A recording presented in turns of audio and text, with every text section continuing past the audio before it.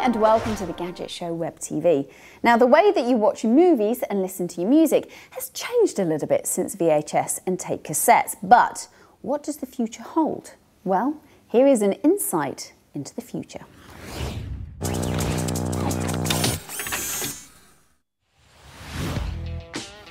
From just five terrestrial TV channels, VHS to CDs, over the past 20 years, the way you access your favourite films, TV programmes and music has exploded into a digital world. Sky led the way in multi-channel viewing, iTunes paved the way how you access music, and the internet meant you could access even more media content online.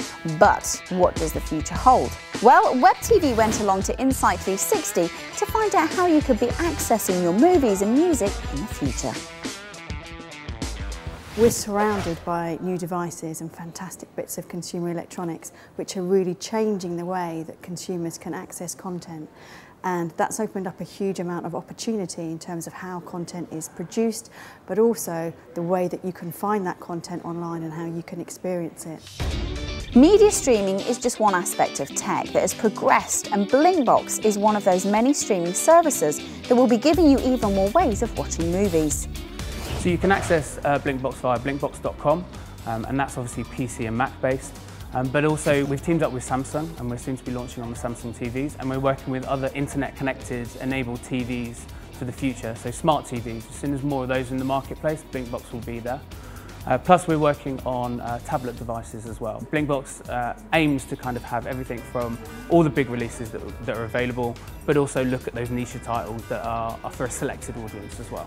Everything lives within the cloud system of Blinkbox, so you don't have to download anything, it just streams straight away.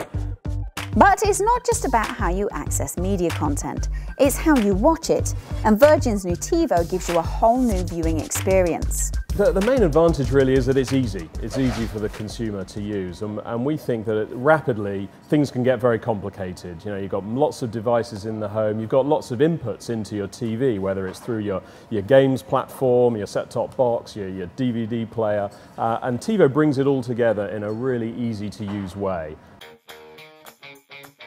What it allows you to do is to search across absolutely everything, live TV, on demand, catch up, even the web as well, um, to find those shows that are really your, your favourite shows. If you don't quite know what you want, you can also browse across you know, genres, you can browse for actors or directors or other things you like, uh, and perhaps most magic of all is the recommendations engine that sits underneath all of this. Uh, and that allows you to find stuff that you may not have known you liked, but actually you discover you really like. And, and that works on very clever technology that matches what uh, the sort of things that you've rated uh, that you like using our thumbs up and thumbs down uh, against what other people who like the same sort of shows also watched. So the more that people use the service, the more accurate those recommendations become. Uh, and we think this is going to revolutionise the way you watch uh, TV. So how you access your media has certainly evolved, and with cloud streaming services, it's set to get bigger. Ultraviolet, OnLive and the iCloud are just a few ways that will allow you to download, stream and sync your games, movies, music and more to multiple devices wherever you are.